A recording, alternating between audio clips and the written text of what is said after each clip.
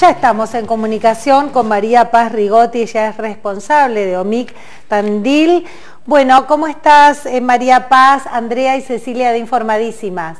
Hola, ¿cómo están? Buen, buen día, buenas tardes ya. Sí, buenas tardes casi. Bueno, primero bienvenida aquí a la radio del canal del ECO.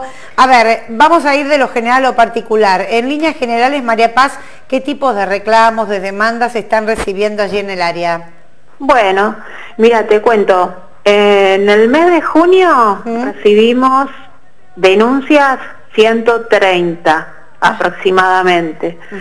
Eh, es mucho para lo que se venía denunciando. Es mucho, eh, sí, además eh, teniendo en cuenta el contexto de aislamiento que, que, debemos tener, la verdad es que el número de denuncias es, es importante.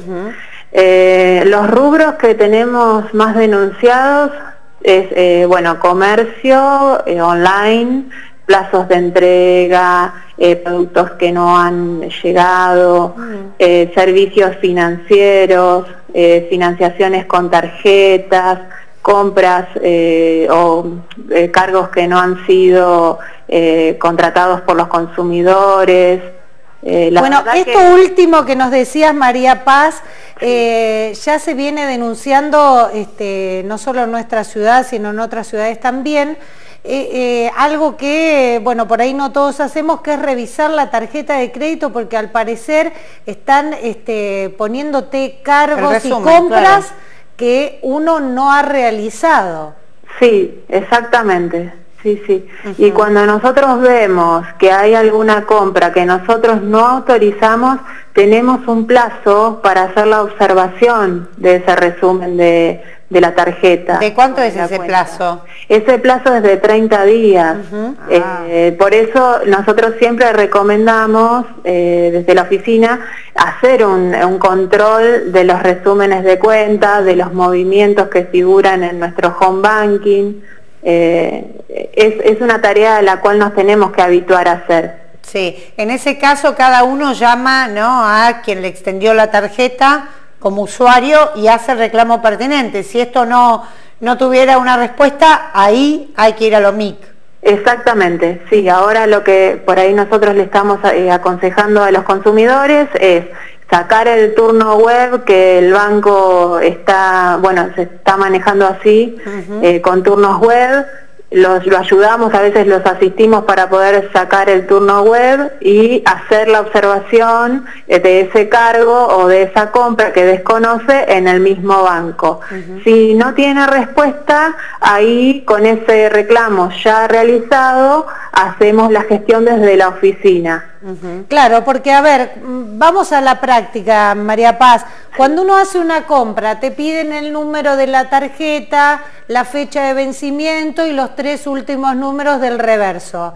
La verdad que una vez que la persona que te toma eso, te puede hacer, este, digo, cualquier compra, porque ya tiene todos los datos queda en posesión de todos tus datos personales, exactamente. Sí, por eso también eh, otro consejo importante que, tenemos que dar eh, es que a quién eh, brindamos esos datos personales. Muchas veces nosotros lo que nos encontramos es que la gente ha enviado foto de su tarjeta de crédito por WhatsApp, por ejemplo. Claro. Bueno, pero cuando vos llamás y haces una compra, a veces te piden todos estos datos para pagar. Claro, pero eh, en, lo, en, lo, posible evitar mandar la foto de la tarjeta de crédito. Ya eso no nos tiene que sonar como algo normal. Sí, los últimos tres números, como vos decís, o los números de la tarjeta, porque para ingresar a hacer una compra con tarjeta de crédito lo tenemos que complementar. Claro, claro. Sí. Y en, cuando te llaman por teléfono, que vos haces una compra o un pago, eh, ¿qué es lo que no debes dar? Por ejemplo, esto, eh, enviar fotos de tu documento, enviar fotos de tu tarjeta de crédito, eso ya te expone de una manera de que no es eh, la que corresponde. Bien. Lo que pasa es que si te toman los datos, te van escribiendo. Bueno, a ver, hay, hay sitios que están totalmente asegurados, ¿no? Donde, a ver, ¿cuáles son esas cosas que tenemos que tener en cuenta? Porque hay lugares donde uno sí puede comprar de manera confiable, pero hay otros que no.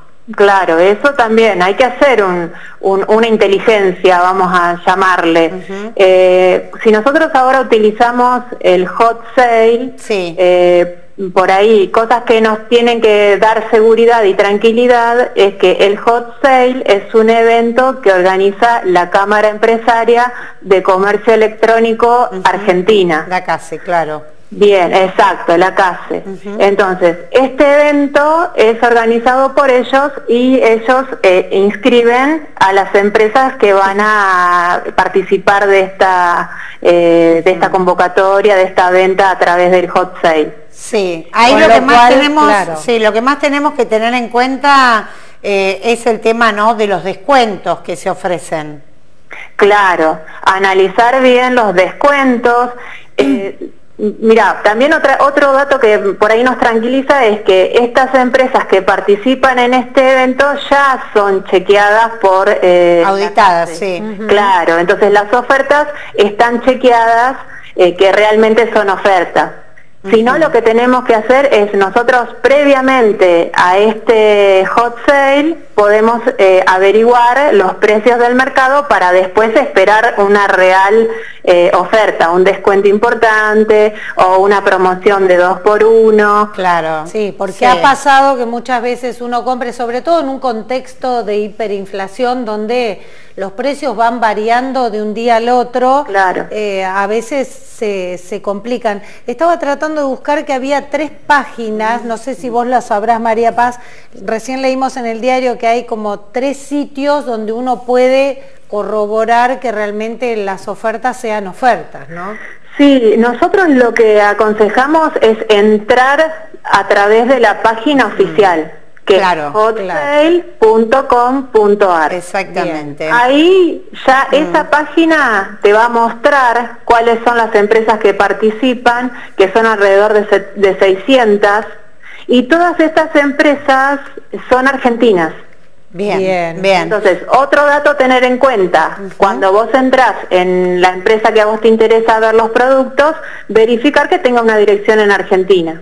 Bien. Algunas son conocidas, son tiendas online, marcas conocidas, pero hay otras que no, no son tan conocidas.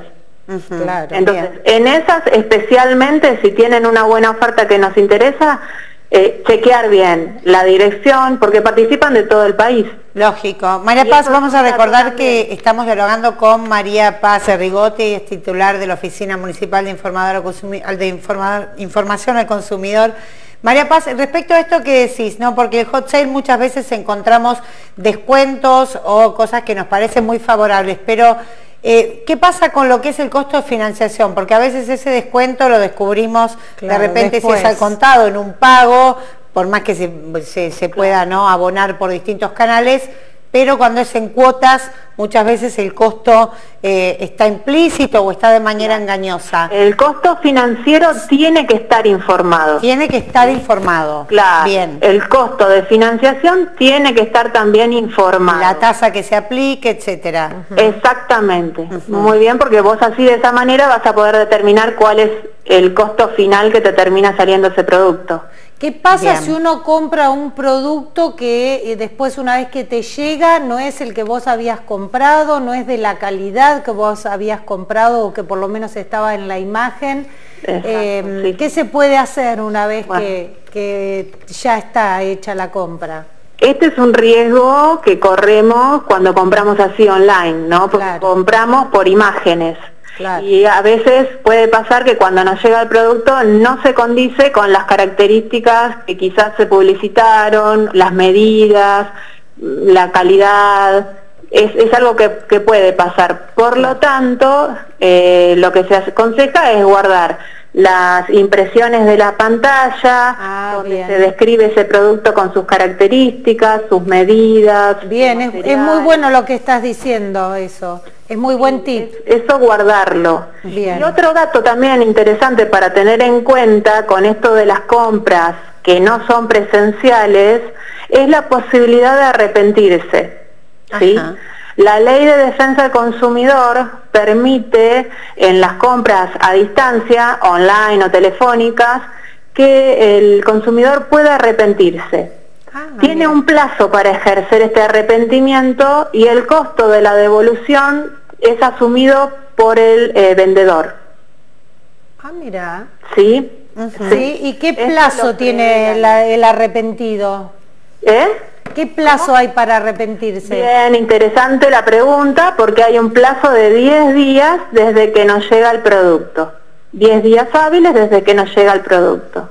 Bien, algo que no sabíamos. Y el tema de los viajes, María Paz, que hay mucho viaje, eh, bueno, sobre todo con unos descuentos realmente muy tentadores, pero que uno no sabe con esta pandemia si se van a, poder utilizar. ¿Cómo uno hace para comprar un viaje, pero este, bueno, no quedarnos en esto que después no sabemos qué va a pasar. Y la verdad que sí, que es un terreno muy incierto, ¿no? Porque no depende de la voluntad de las empresas, no depende de la voluntad de los turistas que obviamente quieren viajar. Eh, esto nos excede. Eh, por lo tanto, eh, es un riesgo. Por ahí lo que hacemos es cautela porque no, no, no sabemos qué va a pasar con la pandemia. Claro, bien. María Paz, ahora que vos enumerás y nos decís, bueno, todas las cuestiones que tenemos que conocer, eh, como consumidores, ¿dónde podemos obtener alguna guía como para saber cuáles son nuestros derechos, ¿no? Para esto que vos nos decís, que seguramente habrá muchos otros, ¿cómo obtenemos esa información? Mira, yo siempre recomiendo el portal de argentina.gov.ar. Eh, eh, hay información para los consumidores en ese portal que es un sitio oficial eh, y está a, mano a través de internet. Si no, de todas maneras, las personas pueden consultar en la oficina, llamar por teléfono, enviarnos un mail y, bueno, si no tiene esas posibilidades, nosotros estamos atendiendo en el horario de 8 a 14. Eh, puede acercarse a la oficina a requerir cualquier información, consejos y bueno, posteriormente, en el caso que sea necesario, iniciar la denuncia que, sea correspondiente. Sí, y que, y que me debo decir que también se resuelven muy bien este conflictos y situaciones. Decinos, María Paz, el teléfono donde la gente puede llamar para solicitar un turno o para alguna duda que tenga. Eh, en realidad, Cecilia, nos estamos manejando sin turnos. Ah, bien. Eh, sí, eh, por orden de llegada y respetando obviamente los protocolos sanitarios, eh, utilizando alcohol, tenemos el termómetro, y van pasando de, a una persona a la consulta. Bien, Chacabuco. Chacabuco 383, de 8 a 14, el teléfono es 0800 0333 0477 y el mail es consumidortandil.yahoo.com.ar o consumidor.tandil.gov.ar. Bien, muy bien. Ahora vamos a compartir y repetir entonces las vías de comunicación, pero sabemos que ya están atendiendo de manera presencial y eso es bueno porque muchas veces la gente de esa manera puede evacuar este, todas las dudas.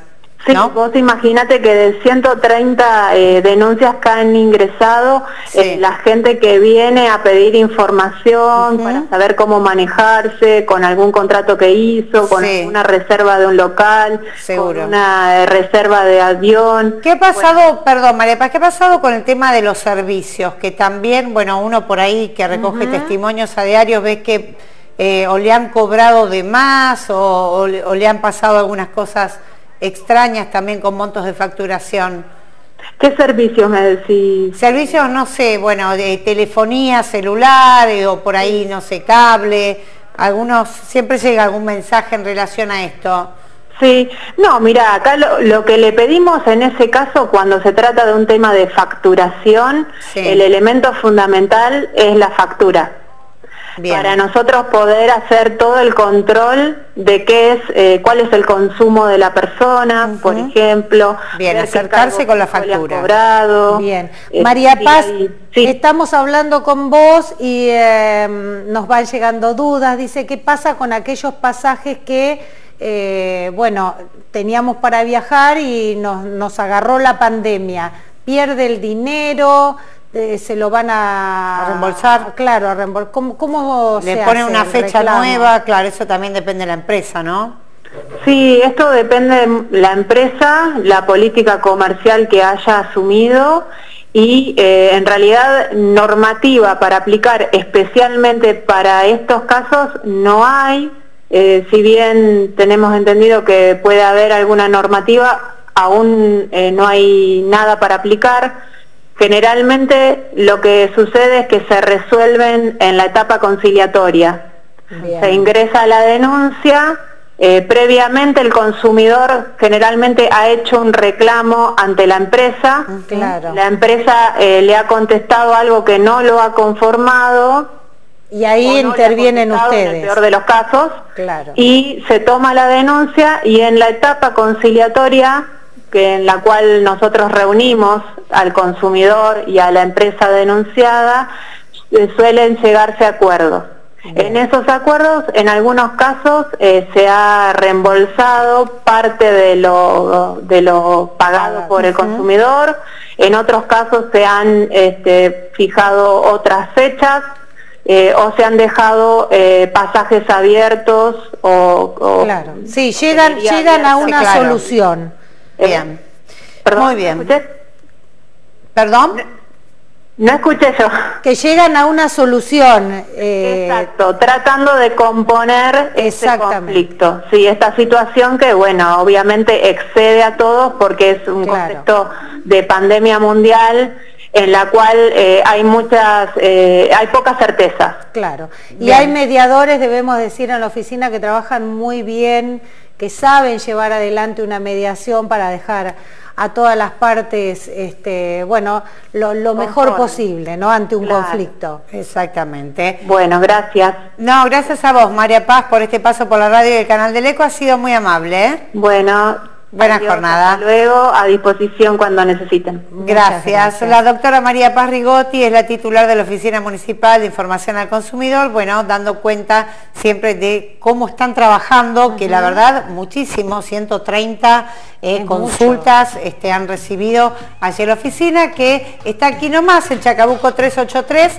trabajan de 8 a 14, tienen un teléfono que es el 0800 333 0477 y si no mandan consumidorestandil.yahoo.com.ar, bueno, y ahí pueden este, consultar.